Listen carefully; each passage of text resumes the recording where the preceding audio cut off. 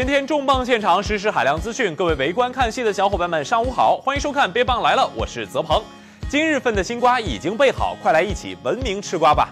火箭少女一零一的小姐姐们虽然颜值都很仙儿，但是许的愿望却很接地气儿。在最近的采访里，村花杨超越居然被父亲爆料明年就要买房，这又是要上热搜的节奏啊！小八哥现在就带你们去听听看这位热搜少女的房奴心愿吧。火箭少女一零一的小仙女们最近一起出来营业了，还把我们的专访变成了爆料大会。比如付晶和杨超越这对父女，当初都曾在心愿卡上写下要买房的心愿，如今被问起愿望实现的怎么样了，付晶居然马上卖女儿，爆料杨超越很快要梦想成真了。现在说要给妈妈买房子嘛，现在有有有定下来，比如说自己到了几多少岁或者几年以后才能。呃，我努力吧，争取。今天你知道吗？杨超越说她明天买房，然后我就说。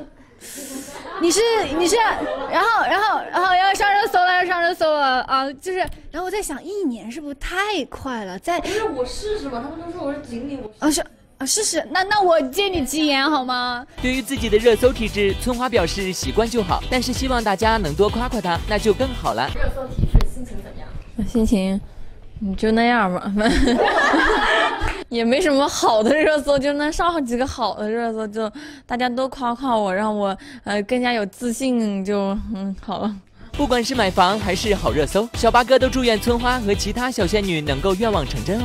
仙女长胖十斤的效果是什么样？看看最近露面的郑爽就知道啦。昨天有不少网友在北工大活捉了正在拍摄新戏《青春痘》的爽妹子，一头短发，穿着宽松 T 恤的爽妹子实在太帅，特别是双手插兜的样子，完全是校草本草。小八哥仿佛已经听到迷妹们此起彼伏的尖叫声。不过说好的胖十斤呢？今日份的爽妹子看起来虽然稍微圆润了一点，但是这腿依然是漫画腿，没错啦。果然仙女长肉就是跟凡人变胖不一样。只希望爽妹子多多露面，让大家多拍路透，才能一解。粉丝们的相思之苦啊！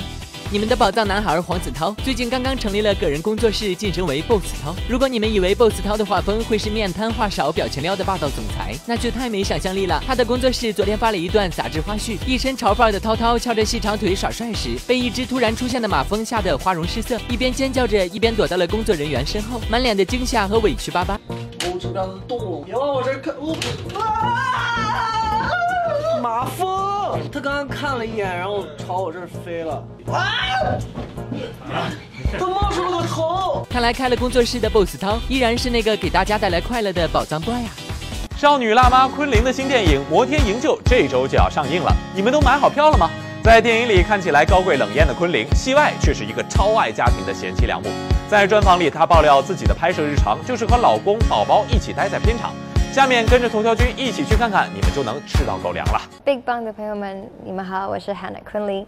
杰伦嫂昆凌的新电影《摩天营救》就要在后天和大家见面了。一向甜美可人的昆凌，这次在电影里大胆颠覆形象，饰演了一个同欧巨石强森的冷酷女杀手。一头干净利落的短发，加上黑色紧身皮，眼神犀利而冷漠，感觉是个随时可以掏枪毁天灭地的狠角色。惊不惊喜，期不期待？那就赶紧请昆凌来和大家分享一下她的拍摄日常吧。可是万万没想到，聊着聊着就变成了大型撒狗粮兼秀幸福现场。为了帮助还在坐月子的昆凌顺利失敬，杰伦咬牙抛下。珍珠奶茶为爱变身满分摄像大哥，就是我坐在轮椅上，然后老公推着我，然后有敬畏，然后自己在脸部上有表情，然后有几个有几个 dialogue，就是坐在那边定位，然后表情就是对。啊，我们是自己拍的短片发过去，因为我当时人还在医院。哦，这是老公帮你录的是吗？对啊。到了正式拍摄的时候，我们的奶爸周田王还带着两个宝宝飞去加拿大陪昆凌，一边照顾妻儿的饮食起居，一边兼任武术指导，给昆凌专业又贴心的建议。花式秀恩爱又上一个新台阶。昨天我们其实好像在开播有看到周董，然后他中间有去给你探班过吗？他那时候常来温哥华，就是陪我跟孩子，然后就是对。所以拍戏的时候是把小孩带过去了？对呀。去是只带了二宝去，还是说他自己？哦，两个都去了。我就把 family 带过去，因为两个月不可能两个月不见到小孩啊。周总有没有给你提一些建议什么的？因为我觉得他就是应该也会在武打方面有一些自己的。对他，其实我觉得他武打方面还蛮专业的，就是他会给我一些他以前训练的一些。嗯，tips 啊，跟一些，因为他是男生，所以他 fight 的感觉是个男生，跟我原本的 fight 我可能比较柔啊什么，他给我那种刚硬的感觉，加上像一些 gun，这是在里面，我是第一次，我是第一次开枪，然后所以当时他就有说，不管怎么样，你在开枪前，你一定要先试试看后坐力，才真的 go on set。他说你一定要跟导演说你要自己开过枪，因为你没有开过枪，你要熟悉那个后坐力，你才会知道你等下演戏不会被自己的枪给吓到。然后我觉得就是好险他有提醒我，所以我先去试这个东西。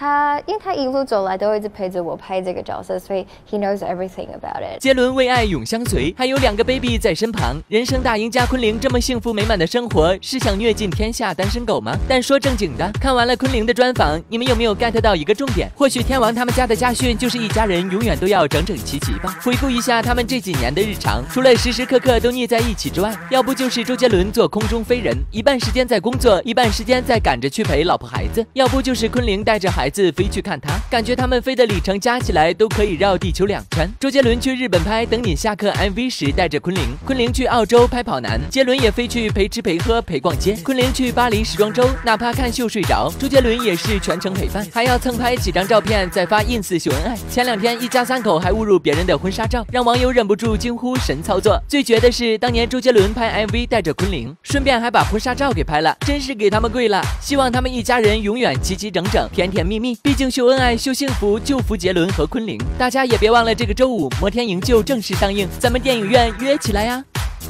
以上就是今天节目的全部内容了，是不是觉得意犹未尽呢？那就赶紧关注我们的公众号，这里有更多的娱乐资讯等着你们翻牌。想要拿福利的瓜友们，扫描下面的二维码，在腾讯新闻客户端参与“请你免费看电影”话题，就可以获得电影票哦。不要忘了，明天早上七点，咱们还是老地方见，拜拜。